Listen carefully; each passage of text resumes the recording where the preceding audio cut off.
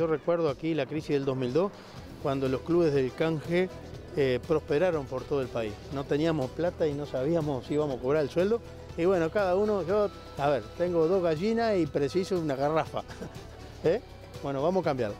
Eh, en realidad lo que intentamos hacer y estamos trabajando permanentemente con Venezuela es ir compensando. Venezuela es un país productor de petróleo, tiene reservas importantes, nosotros somos este, demandantes de petróleo, no tenemos por ahora, eh, y tratamos de compensar. Eso no es sencillo porque estamos en países globalizados, que cada uno tiene sus problemas y, sus, este, y sus compromisos, eh, y no es el único caso de Venezuela.